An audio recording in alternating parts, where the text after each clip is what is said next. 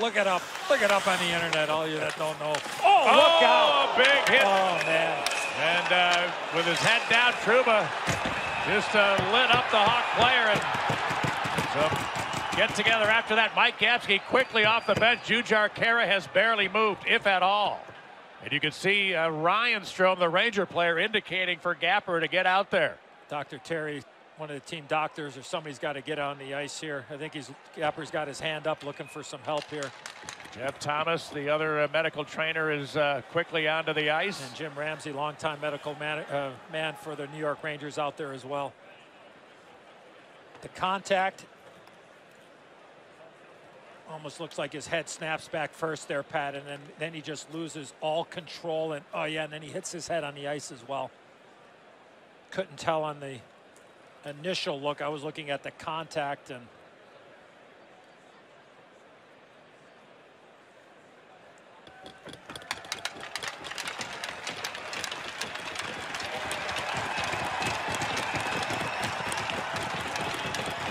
Pretty evident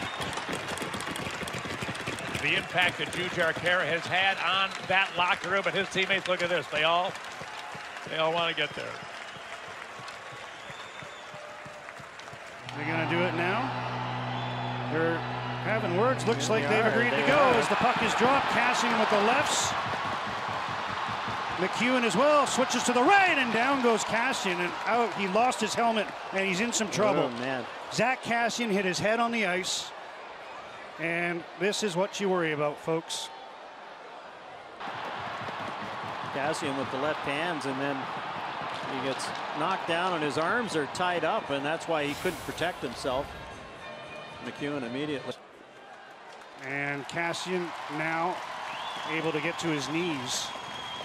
It appeared he may have been knocked right out for a short period.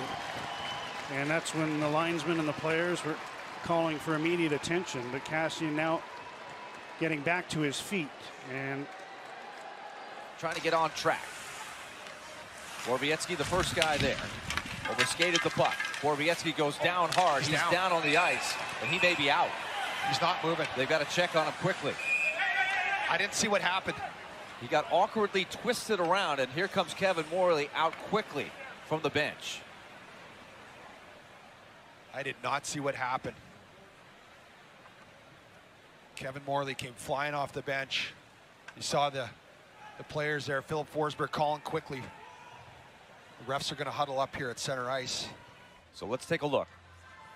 As you can see, he doesn't normally represent the first guy in, but you can see just an awkward collision along the railing there, as you were talking about, Mace. Yeah, and- he just coming right here, and then you see on the forecheck, and then Frost just comes in. He's continuing through, and Borowiecki was reaching to get that puck, and then his head right along the dasher. You can see what he means to this team. Every single teammate coming over.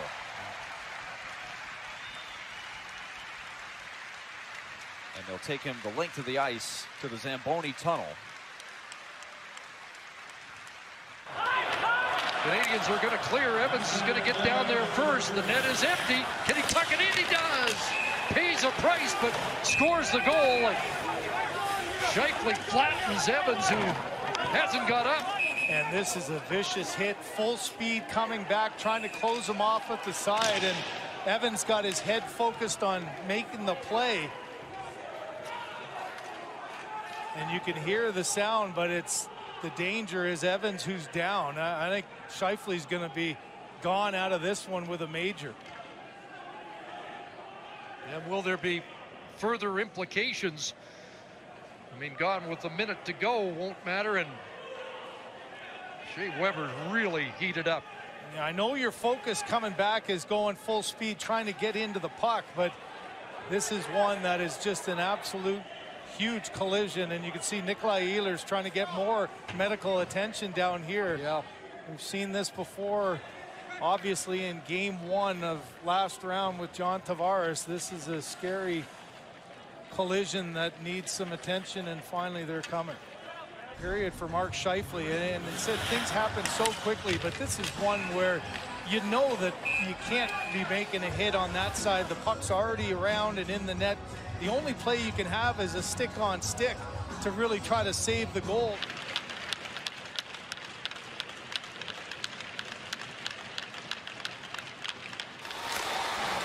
Wasn't a hit for Tavares, knocked down by Chiarot, and Tavares is hurt. He got kicked right in the face by Perry, unintentional, but he fell down, and boy, he got hit really bad. So John Tavares getting attention here. And so not the hit by Chiarot, but a chain reaction. No, you just worry. Look, the hit was right to the head. Oh boy, that This is scary. serious. They're going to need the medical crew and the officials now are calling for that right away.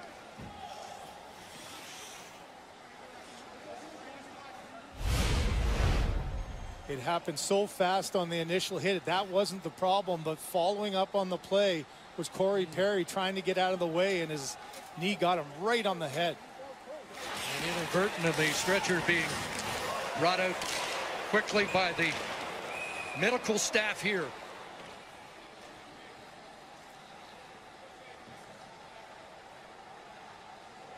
Trying to settle Tavares.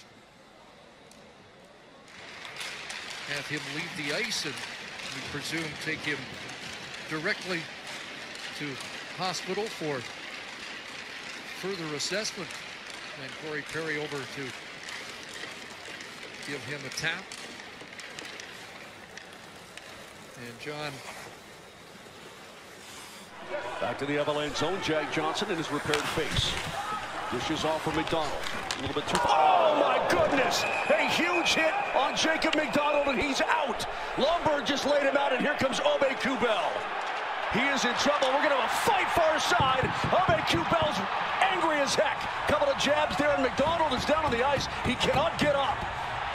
In the four circle, they'll continue to tilt, and then as Obe Kubel ends up on top of him. He sees him there, makes the pass. And then he let up he let up any kind of defensive ability. So watch right here.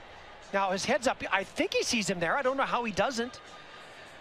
But the way he takes the hit, I know as a hockey player, he left himself wide open and vulnerable. Heads up, he sees him, but then does nothing to get his hands up to protect himself of any kind, which makes me think then he didn't see him. But when you're stretched out, comes through the body, They'll take Jacob MacDonald off the ice on the stretcher. The fans give him a hand. Krug, he got the lone assist on uh, the Pastrnak goal. Dylan DeMelo. Looks like there's an injury here. They're calling for the training staff immediately.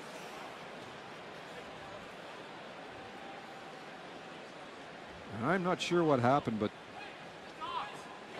Backes, I think, hit him on the play, and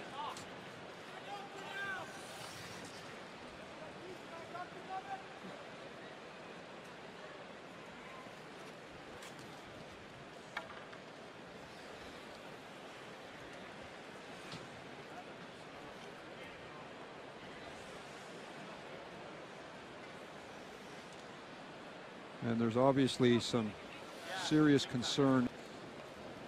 Some of the Senators now coming over. Sabering is being removed from the ice.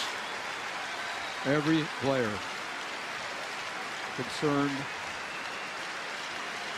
and over there. And now Borgstrom ahead. Chance Lafferty driving to the net. Whoa. His shot Whoa. denied, and now an he injury. Went in hard. Duncan Keith, I mean, he he's out. Yeah, he's out. That was a bad collision with the boards. And sometimes it's just a desire to get up, right? And, and that's just instinct to want to get up, get off the ice. But there's no question he's not really all together right now, getting helped off by a couple teammates, and that's a good sign. I think his night's over, though. I think it's safe to say for Duncan Keith, he went in so fast into the boards. And when you lose an edge like that, that close, there's nothing you can really do. But it's good to see him up. He's having a conversation with TD Forss, the head athletic therapist for Edmonton, and they're going to go right down the tunnel on this one. hoping it's a good sign. Did you see how he had the presence of mind Yeah. to kind of fix his helmet? Yeah. That to me, I, again, no scientist here, but I'm just hopeful that that's a good sign. always scaring, you know, both teams. You can see the Chicago Blackhawks, obviously, 17 years, 16 years with the Hawks. And as he spins off of Lafferty, as he tries to recover on that right there, he goes in. You can tell, I'm telling you, I think he went out for a second. The way he goes in, nothing you can do on that. Those boards do not give, and it was a good sign to see him up and go down the tunnel. By Kero. Big hit as Connolly stepped in to Kero. He never saw him coming, and Wow, Tanner Kero's Oh, in no. a world of hurt here. He got the pass up the boards. Connolly came in and he was just trolley tracking, and the puck went out. There was nowhere near Kero, and he looked like he was out on his feet on the way down. And they are bringing the stretcher out of the corner here. first sound in a long time is mm. an ovation for Tanner Kero, an extremely likable man who has fought his way back to the NHL level these last couple of years. And right now, everybody, doesn't matter what side you're playing for, rooting for, just hoping for the best